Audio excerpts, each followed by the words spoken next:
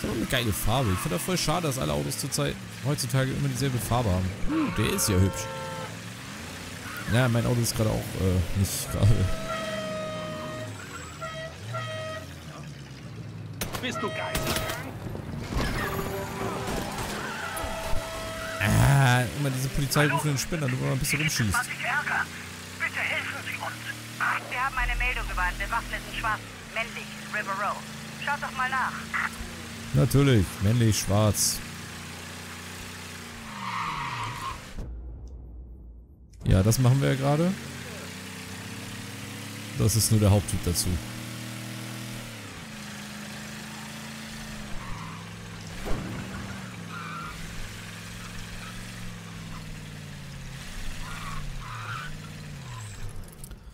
We go let's. Okay.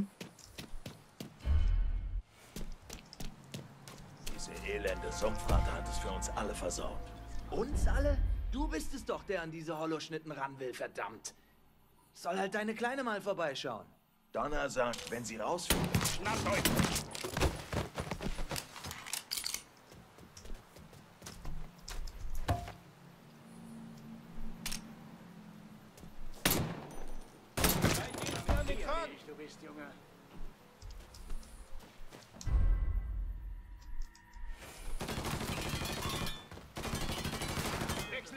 green!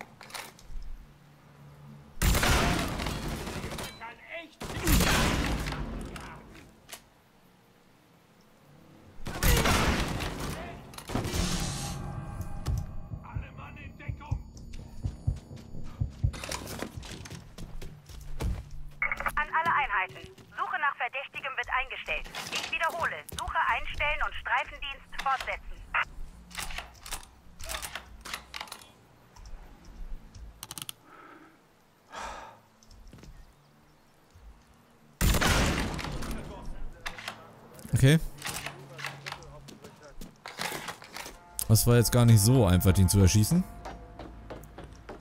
Luftanhalten funktioniert nie- auch nicht sofort auf Klick. drüben.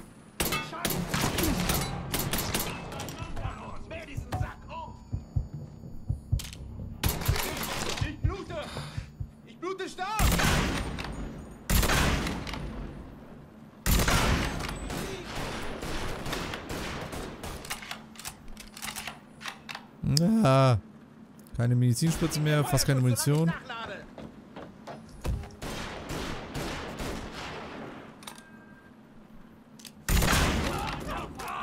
Oh, voll durch den unteren Körperbereich.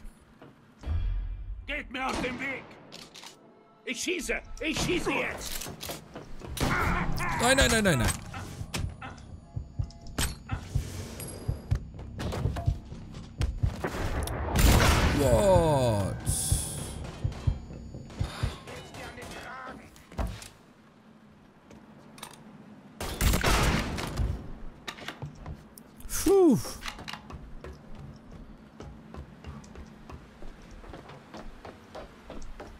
Pistolenmunition ist offensichtlich komplett aus. Scharfschützenmunition finden wir toll. Eieiei.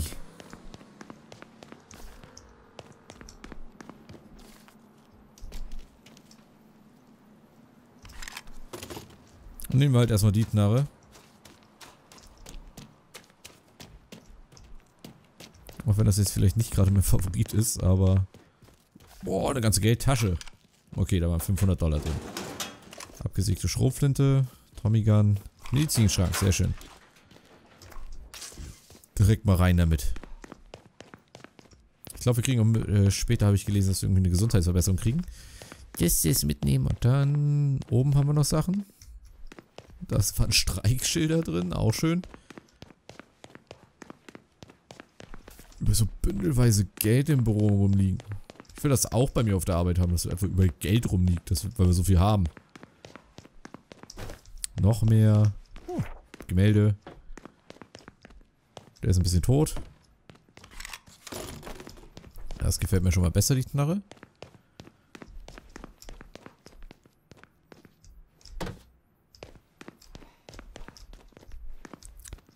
Okay, scheint das Nebengebäude zu sein. Können wir, glaube ich, hier drüben Sieht danach aus, als ob wir ja, einfach so in die Halle gehen können.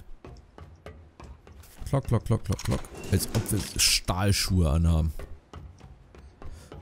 Die von äh, Link, diese Schuhe, wo man äh, unter Wasser laufen kann. Diese Dinger. Bum, bum, bum, bum, bum, bum.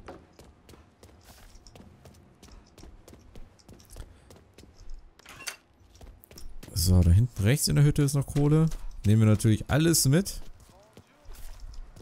Vor allem, wenn es 500 Moneten sind. 10.000 Euro Schaden müssen wir ihnen noch zufügen. Ah, schöne Weste. Das ist nochmal ein schöner Fund. Geld, Geld. Geld von einem Toten und Pistolenmunition, sehr schön. Notiz lesen. Ähm, als Gewerkschaftsmitglieder hast du folgende Rechte. Das Recht auf einen sicheren Arbeitsplatz, das Recht auf Bezahlung für Überstunden, das Recht auf Interessenvertretung durch die Gewerkschaft, das Recht auf Altersrente und andere Vorteile, das Recht, dich ins Knie zu ficken. Handschriftlich hinzugefügt.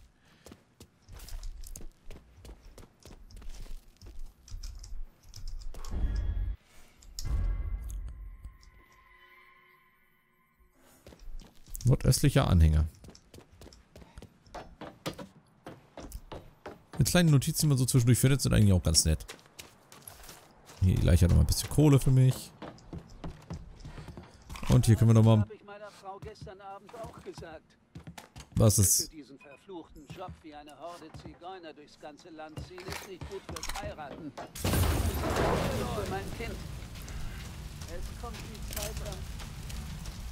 So, dann nehmen wir mal den Game jetzt hier.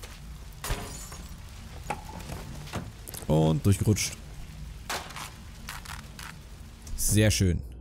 Noch ein bisschen Schaden machen und ich würde gerne den da drüben töten. Bonus, Fragezeichen. Was müssen wir machen für Belohnung? Bla bla bla. Bonus, keine Ahnung. Aber da gibt es auf jeden Fall einen, also machen wir das alles mit. Roberto Pups Albano. Und dann schwingen wir mal unsere Karre darüber. Eigentlich hätten wir vorne mal die Dings anbringen können. Wir haben ja noch ein paar Dinger. Ja, Dings, die Bums und Rums und Anhänger. Und anbringen. So, raus aus mein gelbes Auto und da vorne an den Stromkasten einmal ganz kurz. Und wir haben keine Teile mehr, wie es aussieht. Anscheinend brauchen wir mehr als nur eins für so eine äh, Konstruktion, die wir da dranhängen. Ein Eckord Champion haben wir hier. Und den haben wir dann auch so äh, mit erfolgreich fast versenkt gehabt. Da rufen sie die Polizei nicht an, wenn die immer völlig besoffen Auto fährt.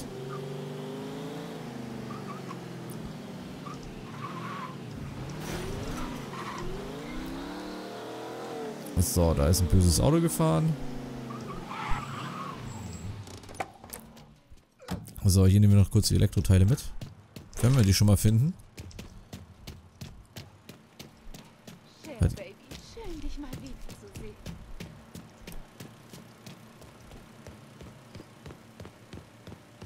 Okay.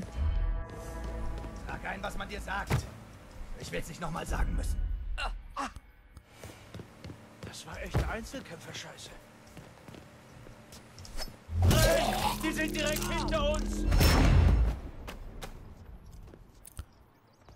Verprügeln einfach irgendwelche Gewerkschaftsmitglieder oder was ist da los? Nicht du leitest die scheiß Gewerkschaft, sondern wir.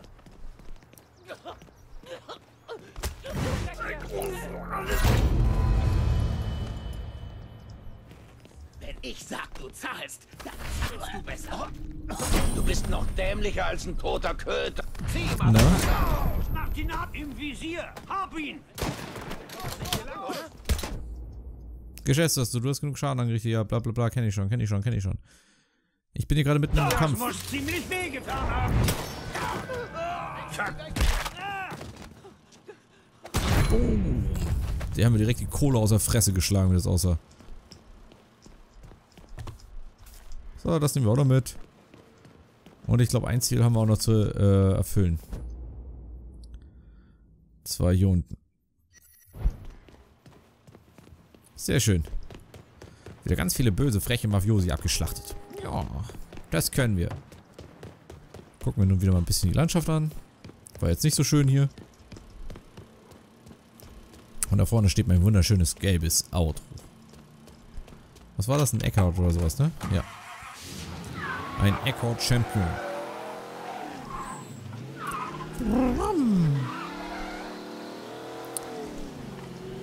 Da, da, da, da, da, da lang. Das stört dich sicher nicht, dass ich über Rot fahre, oder Polizist? Nee, Cox stört dich überhaupt nicht.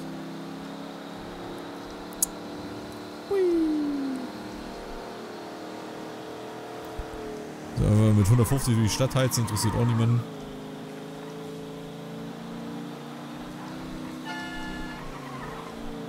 Und sonst, solange sie uns so bei 150 in die Seite reinfahren, ist auch noch okay.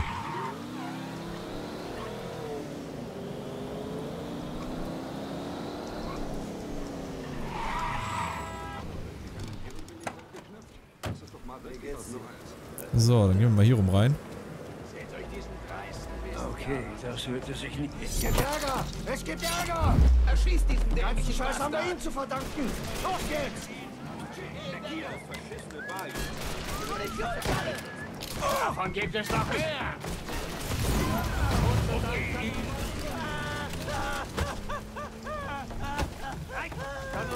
Töten! Laufen die da gerade alle ins brennende Anhängerding?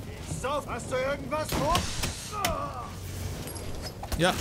Boah, oh, drei. Dreimal, dreimal ins Auge. Okay, die sind alle reingelaufen. Oh ja, wir sterben gerne freiwillig. Äh. Und alle laufen in die Anhänger. Ist okay. Wenn Ihnen das gefällt, dann könnt ihr das natürlich gerne machen, aber irgendwie... Hm. Würde ich mich fragen, was nicht so richtig mit diesen Jungs stimmt. So, Kohle haben wir gefunden, Zeug haben wir gefunden.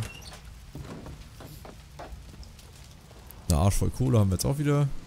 Und hier den Kasten können wir noch mal ein bisschen aufpenetrieren. Rennt ihr irgendwo hin Zack.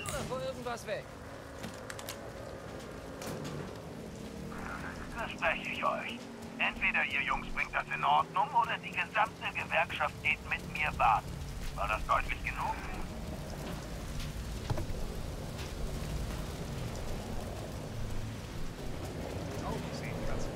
Und wo fährt der jetzt eigentlich hin? Den soll wir folgen. Der fährt irgendwo hin, wo er Geld abliefert oder abholt. Dem folgen wir jetzt mal ganz unauffällig in seinem roten Auge. Du kannst ein- einige Gegner verfolgen, damit sie dich zu Sonderzielen führen. Behalte die Verfolgungsanzeige im Auge. Fährst du zu dicht auf oder lenkst du ihre Aufmerksamkeit auf dein Fahrzeug, fühlt sich die Anzeige und dein, deine Ziele fliehen.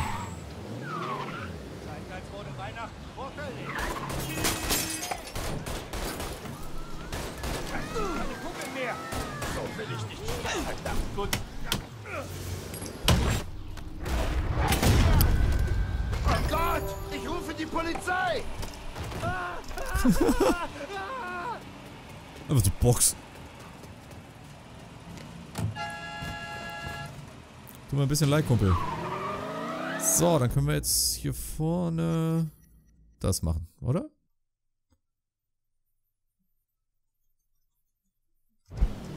Ja, reden wir erstmal mit dem. Ein bisschen gerade. Äh. Bist du überzeugt zu mitnehmen? Was ist denn los hier?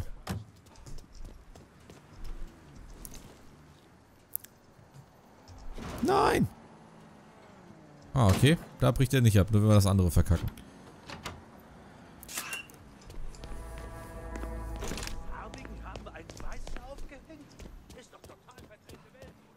What? Ich darf aufhängen, wen ich will und egal welche Hautfarbe ich habe. Es dürfen noch gelbe Weiße aufhängen. Wir treffen uns alle zum Tee in Maison de Ginegris. Sei aber Okay, der Medizinschrank ist nicht hier unten. Aber ist geil, dass man so auch in die ganzen Werkstätten und sowas einfach reinlaufen kann und sich ein bisschen das umgucken. Geschäft hier verdorben. Ist alles nach Tickfor abgewandert. Danke. Klar. So, nach da vorne müssen wir. Jetzt sieht auf der Karte nicht mehr so aus, als ob hier 100 Sachen in der Gegend rumliegen. Da links in der Fabrik ist noch was. Aber darauf laufen wir jetzt nicht extra rüber. Wo ist mein Auto? Ich habe keine Ahnung, wo ich mein Auto geparkt habe. Medizin habe ich auch zweimal, also reicht das erstmal. Und natürlich sind die Informanten wieder hier irgendwie in so einer Slumhütte. Hi. Vito schickt mich. Du bist Conny, hm? Yep. Conny DeMarco. Hab für Vito ein Auge auf den Schmuggel. Roy Thibodeau ist jetzt zuständig und es läuft richtig scheiße. Warum hat Greco ihn nicht fallen lassen? Wenn's nach ihm ginge, würde er Roy hochgehen lassen. Greco hat Roy nicht ausgesucht, was ihn zur Zielscheibe macht. Trotzdem, Roy versucht von Kuba aus den üblichen Schrott zu verkloppen. Zigarren und Rum. Scheiße, man sagt, die verkaufen sogar Medizin und so ein Zeug an die Kubaner. Greco hat also Stress. Greco dachte wohl, sein Onkel Sal würde nicht so hart mit ihm umspringen. Jetzt macht er allen Druck. Auch Roy. Wenn das Geschäft noch schlechter läuft, muss Roy selbst kommen und sich kümmern. Aber Roy hat ein paar Leute hier und da. Mit etwas Überzeugungskraft kriege ich schon was raus. Schon einen von Roys Jungs geschnappt? Die reden bestimmt, wenn man richtig fragt. Fragen kann ich. Und Fragen bin ich so richtig gut. Fangen wir mal da unten an.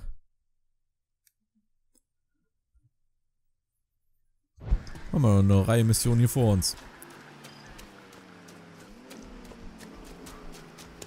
Eine kleine Hinterhofsiedlung aus irgendwie selbstgebauten Hütten. Das ist irgendwie ein bisschen ähm, traurig.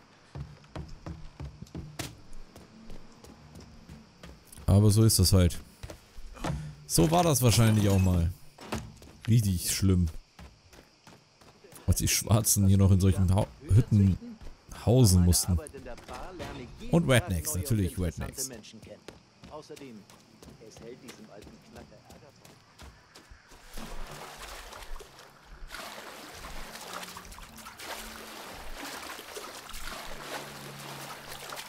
Na, rüber da. Bevor mir ein Kroko in den Po beißt. Aber ich habe keinen Kroko hier in der Nähe gesehen, also alles cool.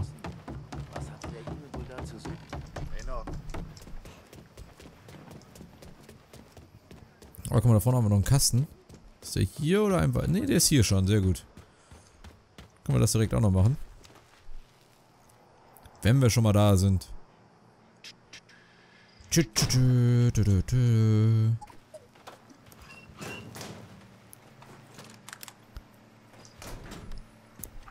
Ja, wie reicht das schon? Ah. So was passiert eben. Ein Truck fährt vorbei, der Fahrer hat eine Eingebung und verschwindet. Einfach so. Und da springen wir Das muss heute noch fertig werden, meine Damen. Wie wär's, wenn ihr euch mal etwas beeilt? Wieder nur diese scheiß Kinder. Wer ist da?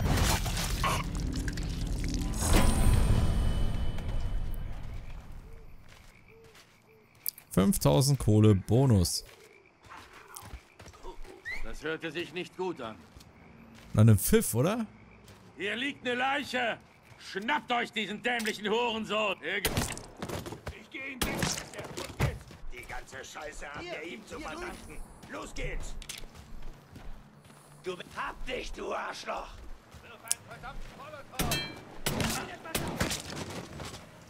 Zwei Kopfschüsse hat er überlebt. Wir haben einen Gast. Ich gehe in Deckung. Der Bastard hat nur Glück gehabt. Du hast nur Glück gehabt, dass du drei Schüsse in den Rücken überlebst. Na? Der Wichser wurde vergossen.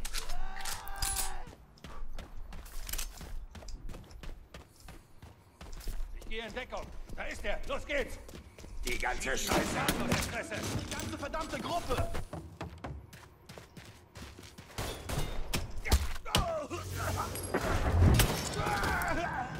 Schön dich zu treffen, Arschgesicht.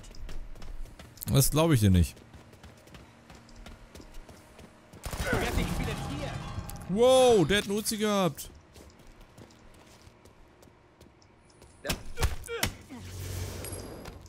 Dafür wirst du richtig qualvoll sterben. Das war...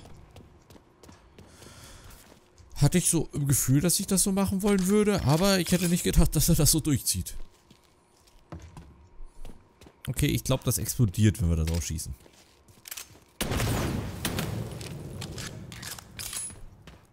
Ja.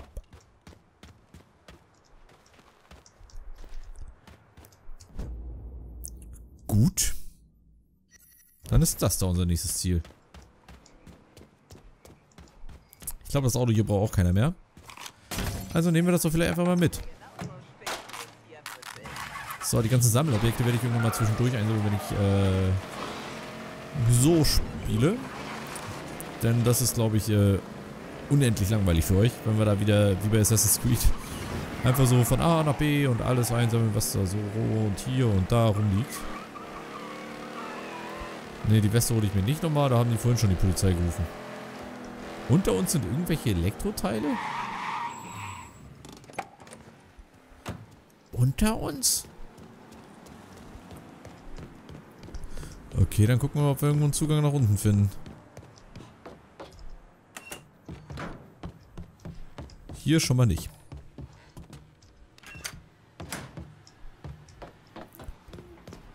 Okay.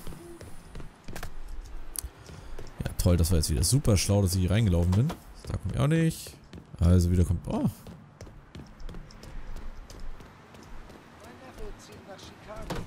Dann geht's wohl da runter. Auf der anderen Seite ist dann... Yep. Das lassen wir natürlich nicht liegen. Die sind sehr, sehr wichtig für mich. Tatsache.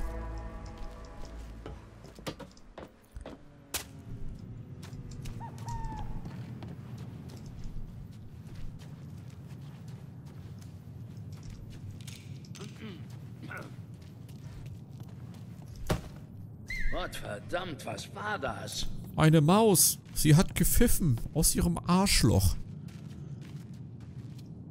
Hey du. Guck mal.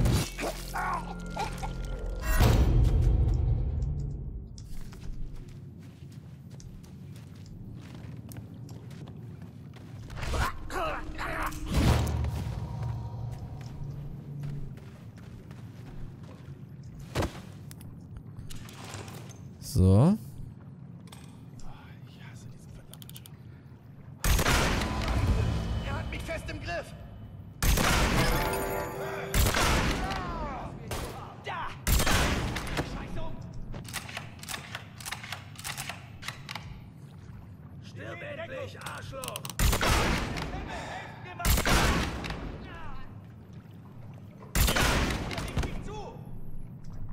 Ist der jetzt tot oder nicht?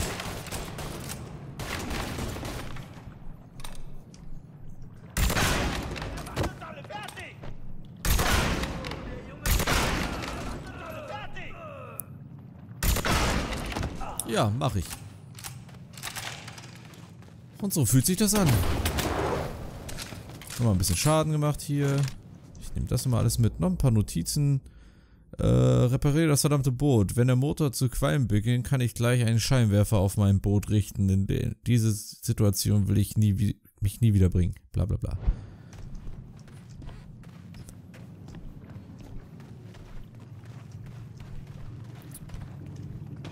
Plansch. Kommen wir auf der anderen Seite auch wieder raus, irgendwie nach oben? Wäre irgendwie geil. Erstmal nehmen wir hier das Geld von den Toten, die Munition, das, das Geld. Ja, und wie es aussieht, kommen wir auch hier wieder hoch. Oh, hier ist noch ein Lagerraum. Nee, hier ist noch so eine, so eine Kreuzung, eine unterirdische. Das meinen sie mit den Tunneln unter der Stadt, wo wir ähm, auch das Geld aus der Bank rausgeschmuggelt haben, wo wir den ganzen Tresor versenkt haben. Huch.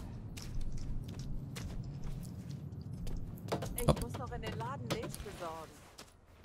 Uiuiui. Solltest dich beeilen, ist schon spät, Frau. So, wo sind wir denn jetzt hier rausgekommen? Big Break. Was haben wir denn hier oben? Schmugglerware, raube das Lagerhaus aus. Alles klar. Das kriege ich wohl auch noch hin.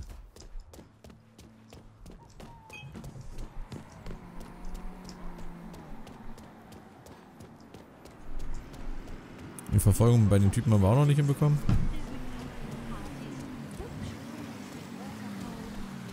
Hübsche Jungs mit rosa Haut, das klingt völlig ungesund.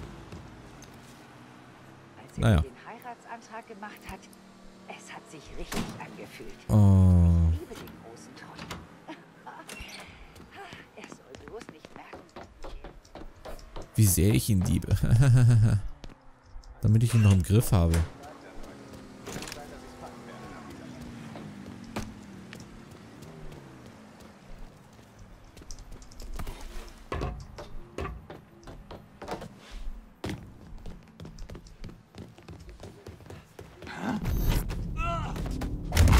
Wow. Au. Ja, echt. Solche Geräusche würde ich auch mal, wenn mir so jemand ins Gesicht tritt. Noch zwei. Marina will dieses Baby sehen. Ich schiebe. Okay, wo wollt ihr ihn dann suchen?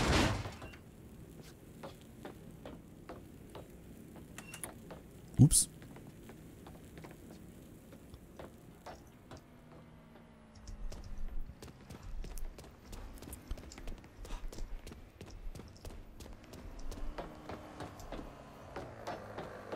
Ist er jetzt außenrum runtergelaufen? Sind jetzt alle weg?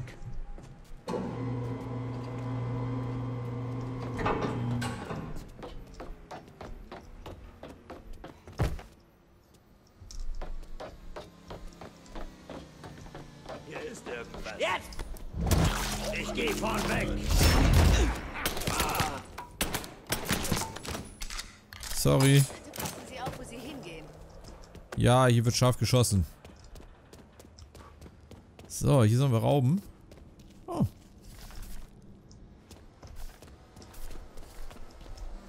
Schadenssumme erreicht.